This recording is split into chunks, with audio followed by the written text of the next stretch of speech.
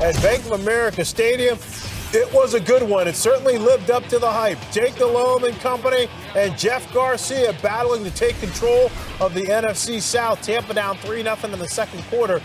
Garcia to Antonio Bryant, who's wide open, TD. He's having an outstanding year thus far. This guy is really making a nice little season of, of this. All right, down to the two-yard line, but interestingly enough, entering Monday night, the Buccaneers just 16 touchdowns and 47 red zone possessions, 31st in the NFL. And there you see Garcia and Alex Smith can't connect. The next play, second down, Cadillac Williams stuffed after a one-yard gain. Third and one, and Garcia finally unloads but it's incomplete to Jerramy Stevens. Jon Beason is there, so the Bucs had to settle for a field goal. Getting field goals instead of touchdowns in this game would prove costly. All right, here come the Panthers now. DeAngelo Williams. Last time these two teams played each other, Williams and Stewart only rushed for 40 yards. Much different story Monday night. Came out running the football, showed how physical they were between the trenches. You know, this kind of game is really going to be determined whose offensive line plays better. All right, second and goal from the two. It's Jonathan Stewart, and Carolina goes up 10 to 3. And that was the score at the break. And in the third quarter, the uh, offensive floodgates opening. Jake Delhomme here, picked off by Jermaine Phillips. But take another look. Phillips juggles it, but regains possession before the ball hits the ground. That is a great job of concentrating. A couple of plays later, the Bucs trying to take advantage. Garcia on the play action. Deep to Bryant.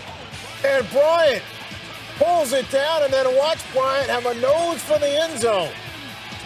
So we're tied up at 10. This guy, I don't know what he, what he did this year, but he's having an outstanding well, he season. was out of football all of last season, and Jon Gruden wanted to take a chance. He needed a big body receiver. Jake Delhomme to Muhsin Muhammad. It's a 12-yard gain there.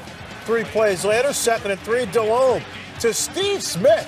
Panthers have a great receiver themselves. Smith, one of the best in the game, 38 yards there. Delhomme, four for four with that drive for 68 yards, 17-10 Carolina on top.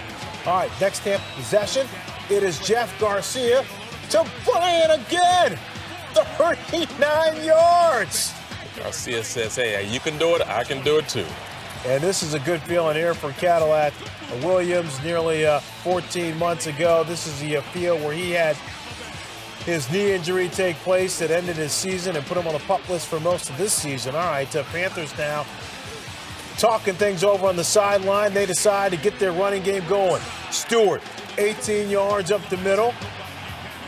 Fourth quarter, same drive. On a first and goal from the four, it's Jonathan Stewart. The rookie running backs this year have been tremendous. Yes, they have been. And this guy leads the pack. I mean, he's one of the guys that came in this season with the toe problem, but seems like it's not affecting them right now. Carolina on top 24 17. Now it's Williams down the right side.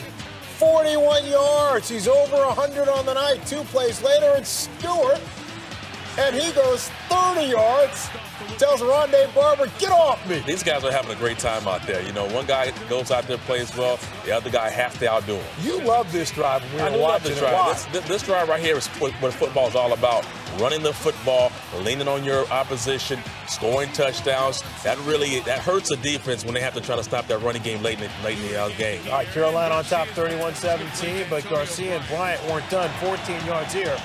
And then watch the catch by Antonio Bryant, who tops the 200-yard mark for the night.